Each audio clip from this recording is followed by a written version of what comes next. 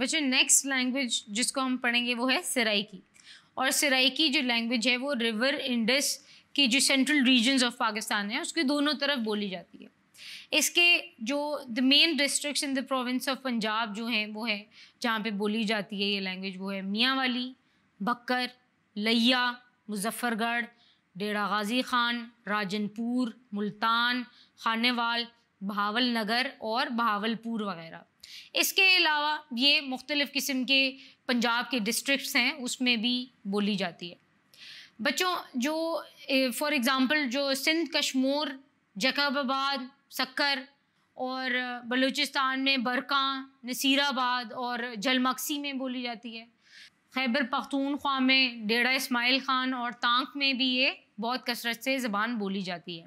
बच्चों, जब हम बात करते हैं इस लैंग्वेज के पोइट्स के बारे में तो हज़रत सच्चल सरमत रहमत और हज़रत ख्वाजा ग़ुलाम फ़रीद रहमत का काफ़ी बड़ा नाम है इसमें।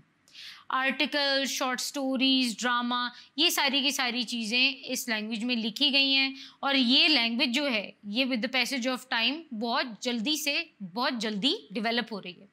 तो बच्चों, आपको आई एम श्योर पता चल गया होगा कि सराई की लैंग्वेज जो है, वो भी आहिस्ता आहिस्ता बढ़ती जा रही है, उसकी मकबूलियत बढ़ती जा रही है, ये लैंग्वेज डेवलप हो रही है और ये बहुत सारे इलाकों में बोली भी जाती है। Thank you